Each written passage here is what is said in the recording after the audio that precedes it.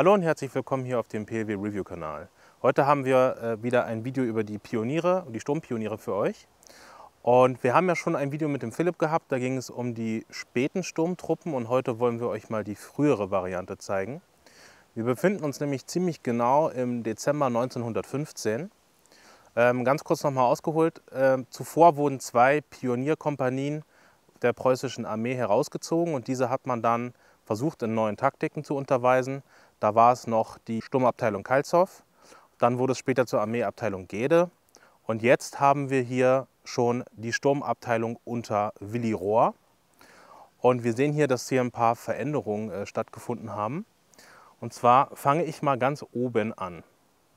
Wir haben hier den Lederhelm ohne Spitze. Ähm, diese Spitze hat man abgeschraubt im Feld, denn wenn man im Graben rumgelaufen ist, hat man sich natürlich ein bisschen zur Zielscheibe gemacht, weil wenn ihr euch vorstellt, es hat quasi die Spitze rausgeguckt und die Soldaten haben sich im Graben bewegt und das war natürlich sehr auffällig. Das heißt, der Gegner wusste genau, wo man sich befindet. Ebenfalls sind die Regimentsnummern abgemacht worden, äh, natürlich auch, um den Feind zu verwirren, damit er nicht weiß, welches Regiment ihm jetzt gegenüber liegt. Das ist ja natürlich auch sehr, ein bisschen sehr auffällig sonst. Hier sehr interessant, wir sehen hier den Feldrock im Landsturmschnitt der Pioniere.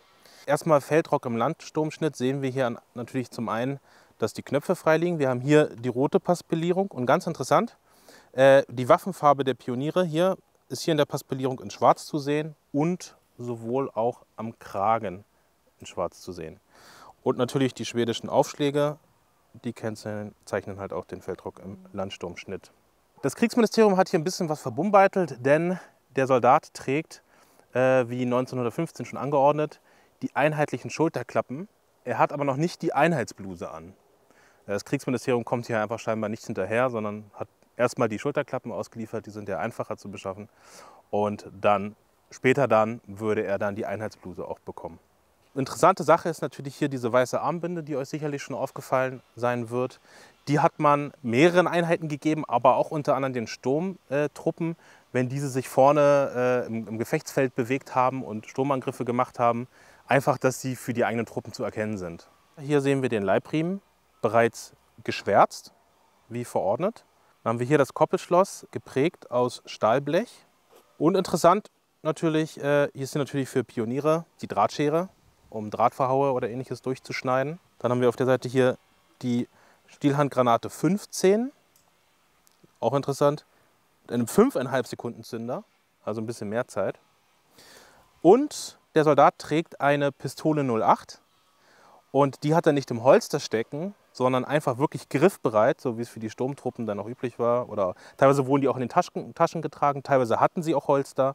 Aber der Soldat ja, hat sie wirklich im Leibriemen stecken, damit er sie schnell greifen kann. So, dann machen wir mal auf dem Rücken weiter.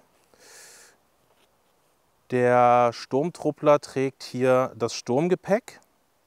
Das hat man getragen, auch tatsächlich, wenn Sturmangriffe vorgetragen wurde. Später dann haben die Soldaten tatsächlich sich noch leichter gemacht, haben das Sturmgepäck abgelegt und sind wirklich nur mit Pistolen und Handgranaten und Gewehren so in den Kampf gerannt, mit der Munition in den Taschen zum Beispiel. Und hier sehen wir aber noch das klassische Sturmgepäck. Das heißt, wir haben hier eine Mantelrolle, wir haben das Kochgeschirr und wir haben hier die Patronentaschen hier auch mit festgezurrt. Äh, das ist jetzt hier rein exemplarisch, also das heißt, Normalerweise würde der Soldat auch mit dem Gewehr kämpfen. Wir wollten euch einfach mal zeigen, wie das aussieht. Aber der Soldat trägt natürlich jetzt hier eine Pistole für den Nahkampf. Auf dem Rücken trägt er den großen Pionierspaten, denn wir erinnern uns, die ersten Sturmtruppler wurden wirklich aus zwei Pionierkompanien gebildet. Hier trägt der Soldat die Gasmaskentasche. Da befinden sich zwei Filter drin und ein Behälter für eine Gasmaske. Und darunter trägt er natürlich den Brotbeutel.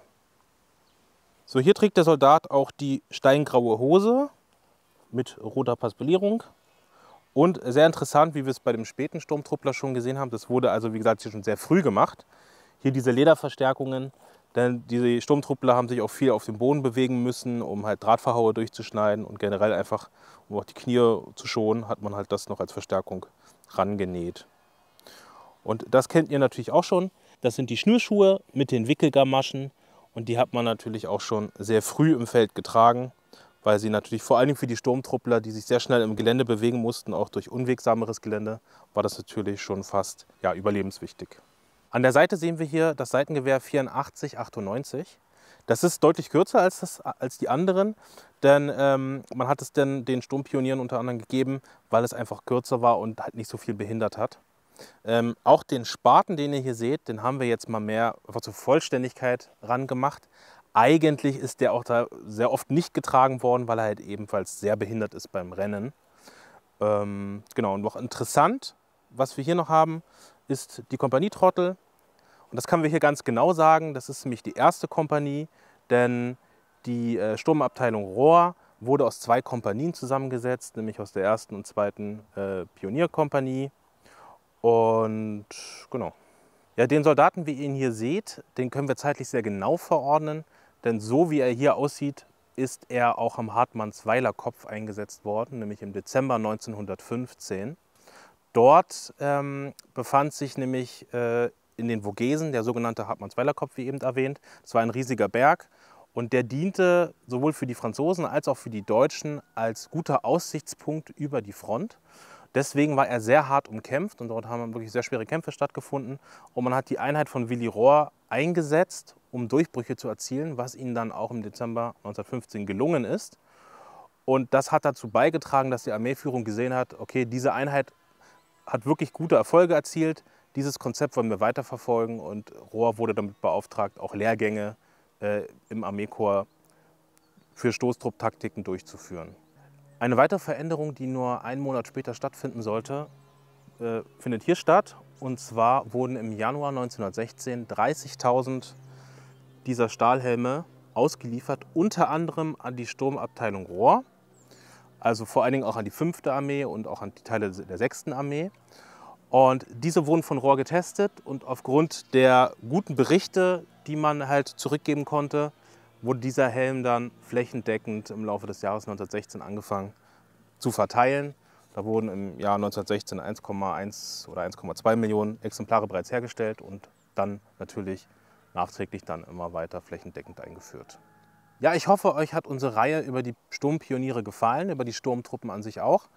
Und äh, jetzt noch mal ein paar abschließende Worte in eigener Sache.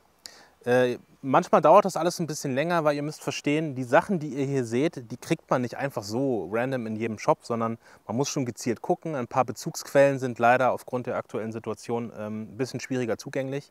Die Sachen sind vor allen Dingen auch sehr, sehr teuer. Gerade im Bereich Erster Weltkrieg gibt man deutlich mehr Geld aus als für, für zum Beispiel Zweiter Weltkrieg Reenactment. Ähm, viele Sachen werden auch maßangefertigt, also sind, wie gesagt, dauern auch seine Zeit in der Herstellung. Ähm, ein Thema, was uns natürlich sehr interessiert, ähm, ist die, der Bereich KOK-Armee allgemein, aber vor allen Dingen auch die Sturmtruppen ähm, in der KOK-Armee. Da sind wir noch nie so groß drauf eingegangen, aber äh, das österreich-ungarische Heer hat viel mehr auf Sturmtruppen gesetzt, weil man im Osten diese Taktiken viel, viel effektiver einsetzen konnte. Und da ist dieses Thema wirklich sehr, sehr groß, aber sehr wenig beleuchtet.